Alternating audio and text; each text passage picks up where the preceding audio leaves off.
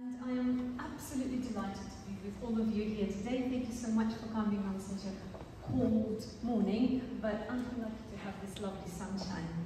Um, I will play for you some of my most favorite music, Scarlatti and Chopin, and I hope some of you were questioning the title of this concert, Music by Self-Taught Pianists.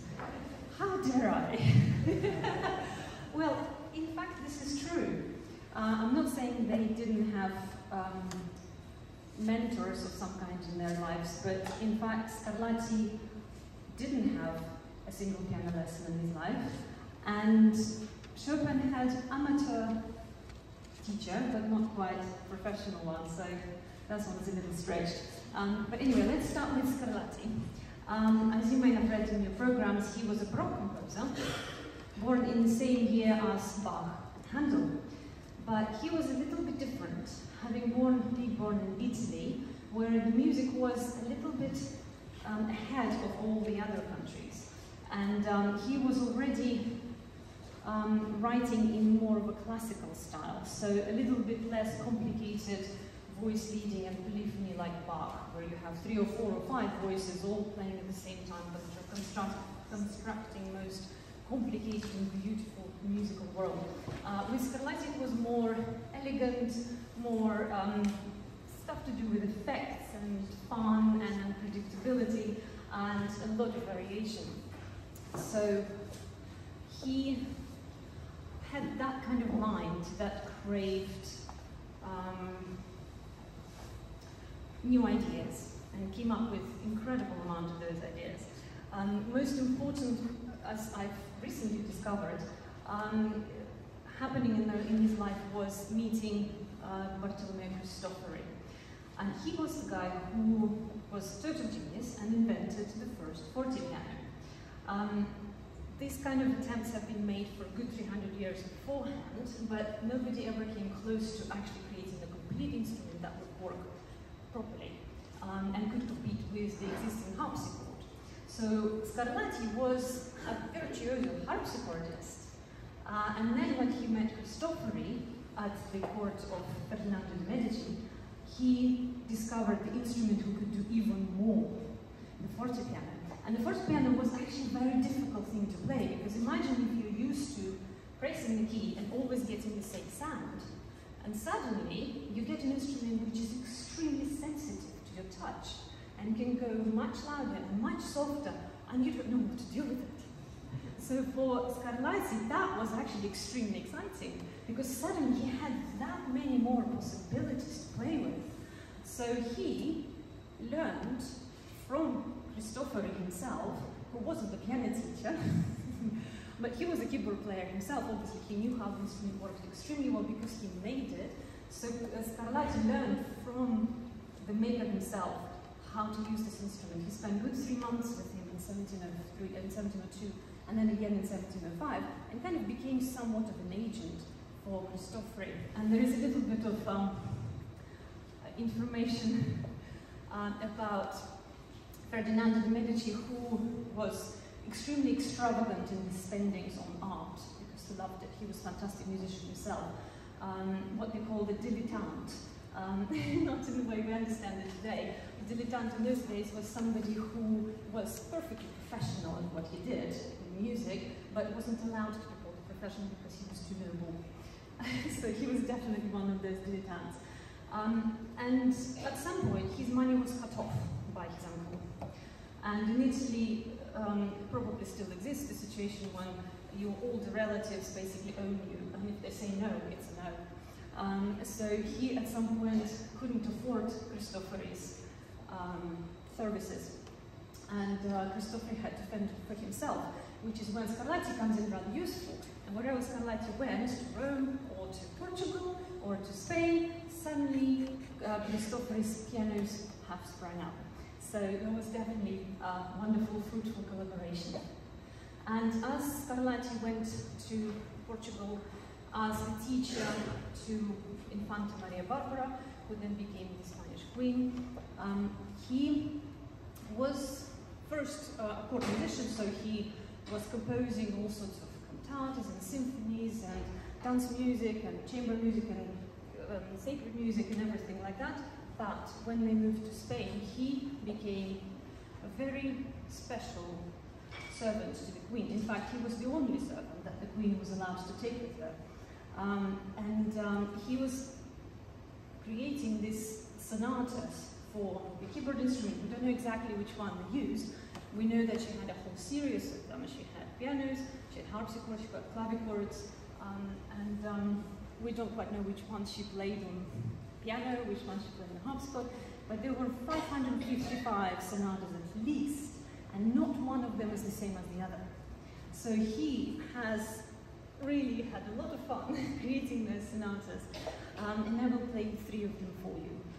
So um, expect to be surprised and charmed and um, excited, I hope.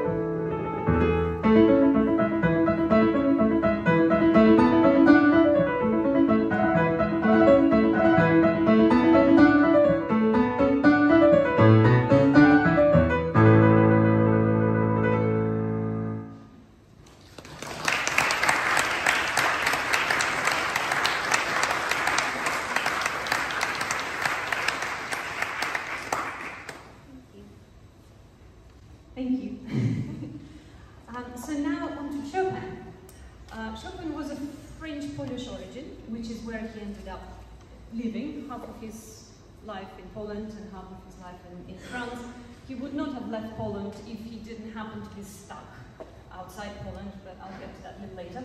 Um, so he had a very stern and scrupulous father and very gentle and very creative mother. She was the one who introduced him to music at about the age of four. She was an amateur pianist and singer. Um, presumably quite a good one actually, because his hands must have put, been put on the piano rather nicely.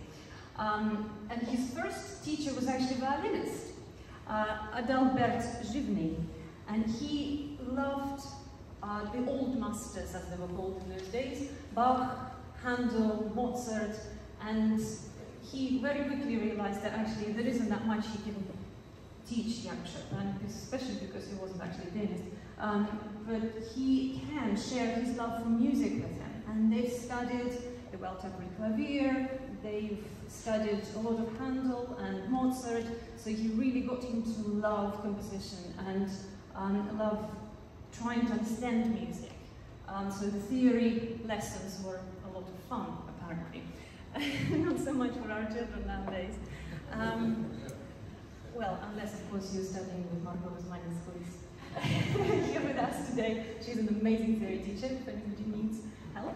Um, so, yes, he very quickly became quite well known as a prodigy child. Um, he was deemed the successor of Mozart, um, and all of that, it seems, has been done kind of under his own steam. He found his own way of getting around the piano because he didn't have that sort of straitjacket of the traditional uh, piano drilling.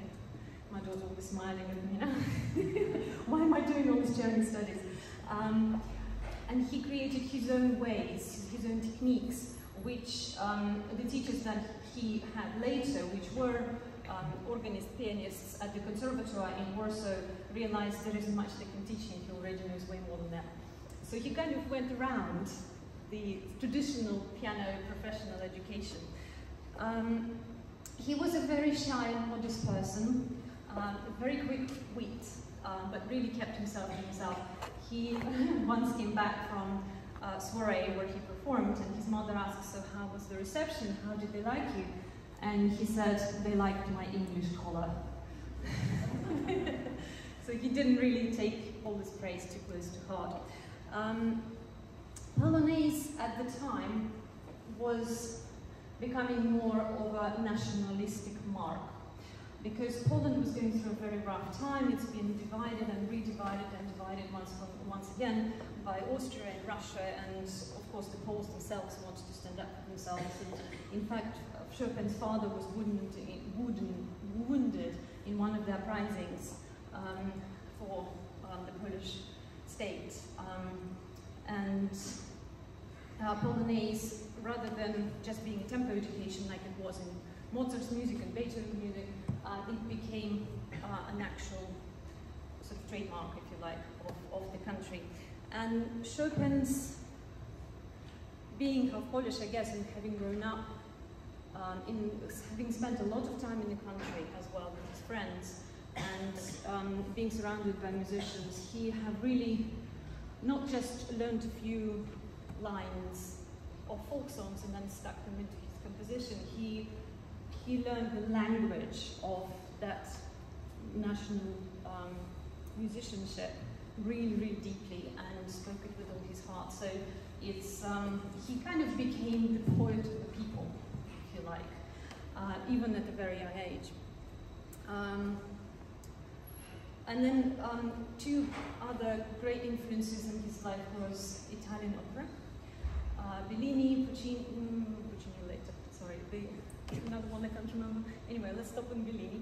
And the special um, feature of that music was very beautiful, melodic soprano lines, sometimes with coloraturas, as they call them, embellishments with the voice shimmering like um, silver star at the top. Um, of, of the textures. And uh, he certainly used that quite a lot in his music, as you will recognize. Um, and another huge influence was Paganini. Uh, he, uh, Chopin heard Paganini in Went to all 10 of his concerts, uh, couldn't have enough, because uh, Paganini basically blew up his mind. Um, because Chopin understood how he did it. You know, to everybody else, like all our, all us lay people, we would just be thinking, oh, he's just incredible. He must have sold, uh, not that you would think like that, of course, but in those days people did. Um, he must have sold his soul to the devil to be able to play like. Um, he just practiced a lot, and he uh, just came up with new techniques that nobody else had thought of before. Uh, and that's what Chopin wanted to do on the piano. So he became basically the Paganini of the piano. And all the romantic pianists at the time and later were basically stealing his ideas afterwards, even his friend Liszt. Um, so, for instance, um, rather than just playing in arpeggio, he would do something like this.